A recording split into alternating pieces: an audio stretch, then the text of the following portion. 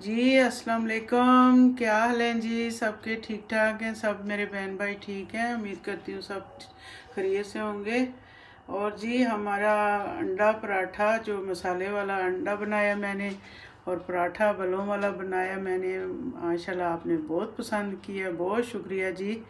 बहुत शुक्रिया। बहुत खुशी होती है जब सारे व्यूज़ पसंद करते हैं। तो अल्लाह पाक आपको खुश रखे। और आज हम बना रहे हैं जी समोसे। और समोसों के लिए हमने पहले से मैंने आलू उबाल लिए, मैंने आलू डेढ़ किलो लिए क्योंकि समोसे बहुत ज़्यादा बनने हैं। तो आलू मैंने उबाल लिए क्योंकि टाइम की बचत हो जाती है। तो अब आपको दिखाती हूँ इनके लिए हमें क्या क्या चीज़ें चाहिए? जी, ये देखें जी, हम आलू को काट रही हूँ मैं, देख सकते हैं आप, बारीक बारीक काटती हूँ मैं इनको। बहुत मोटा मोटा नहीं काटना, बारीक सही रख के काटना है ऐसे, छोटे छोटे, क्योंकि मसाला फिर सही मिक्स होता है इसका। जी, ये देखें जी, मैंने आलू काट लिए हैं बारीक से करके, अब इसमें मैं डाल रही हूँ हरी मिर्च। हरी मिर्च को भी मैंने बारीक काट लिया। बिस्मिल्लाहिर्रहमानिर्रहीम। ये देखें जी, नमक मैंने लिए वन टीस्पून चूरा मिर्चा ली, लिए मैंने आधी टीस्पून, ज़ीरा मैंने आधी टीस्पून ली है, लाल मिर्च मैंने आधी टीस्पून ली है, और खुश्क धनिया मैंने वन टीस्पून ली है। और दो चुटकी मैंने अजवैन ली है। अब इसको मैं मिक्स करती हूँ सबको और दिखाती हूँ। बिस्मिल्लाहिर्रहमानिर्रहीम। माशाल्लाह, बहुत प्यारी खुशबू आ रही है। और समोसे तो बहुत मज़े के बन जाते हैं फिर। अभी से ही खुशबू ने कर दिए बंदा। सोचता कि अभी खा लें। चलो। जी, ये देखें जी, अब हम मैदा गूंदे में गून लें गून लेंगे अभी, बना लेंगे, तैयार करेंगे मैदे को। अब मैंने मैदा ली है 500 ग्राम, आधा किलो, यानी कि इसमें वन टीस्पून मैंने ली है नमक और आधी टीस्पून ली है मैंने ज़ीरा। ये डालेंगे और आधा कप ऑयल डालेंगे और पानी देख, देखते हैं कितना बनेगा।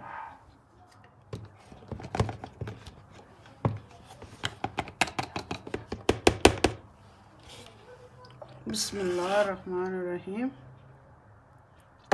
ये हमने आधा डाल दिया, आधा कप और पानी। पहले हम थोड़ा सा डालेंगे,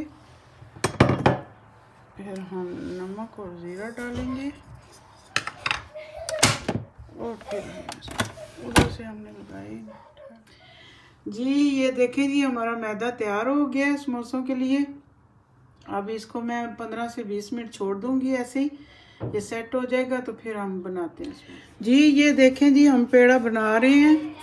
ये इतना छोटा छोटा पेड़ा बनाना है। तो ये मैंने चार पेड़े बना दिए हैं। इसके आठ समोसे बन जाएँगे। और अब मैं दिखाती हूँ आपको बना के। बिस्मिल्लाहिर्रहमानिर्रहीम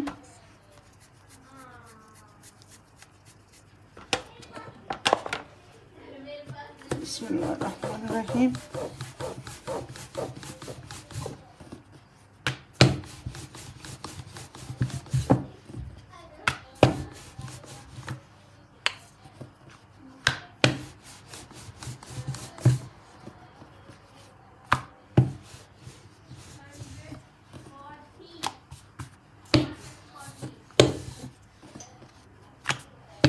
ये बहुत बारीक भी नहीं करना और बहुत मोटा भी नहीं, दरमियाना सा ऐसे हो। इसकी रोटी और फिर ये अच्छे से बनेगा। छुरी दूसरी लेनी थी।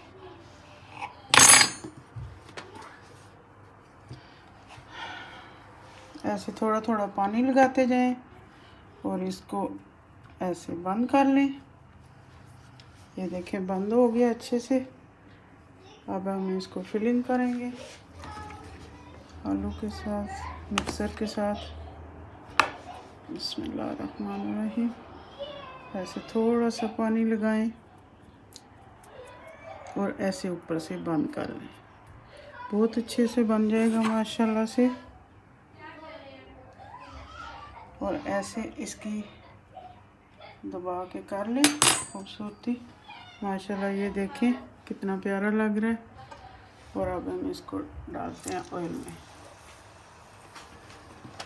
अब दूसरा करती हूँ मैं। ऐसे ही मैं सारे कर दूँगी इन आप देख लें, ये दो मैं आपको दिखाती हूँ, बाकी मैं फिर करती हूँ।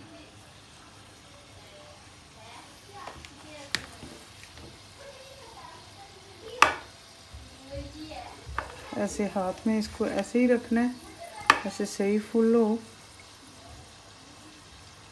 और ऐसे हाथ से पहले थोड़ा सा दबा लें। और फिर इसको फोक के साथ, ऐसे कांटे के साथ दबा लें बहुत अच्छा बनेगा, माशाल्लाह क्रिस्पी। ये देख सकते हैं।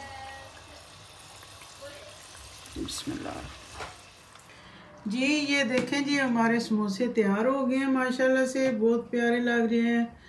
बहुत इनका कलर निकला है ब्राउन और साथ में चटनी आप खाएँ, मज़े करें और दूसरों को भी दिखाएँ और चेक करके प्लीज़ ज़रूर चेक करें इनको बना के हमारे तरीके से। और माशाल्लाह बहुत सारी वीडियो आप सबने मेरी बहुत लाइक की है, बहुत शुक्रिया आप सब बहन भाइयों का। और अल्लाह पाक आपको खुश रखे, सलामत रखे, दुआओं में याद रखना। और प्लीज़ लाइक करें शेयर करें और सब्सक्राइब करें।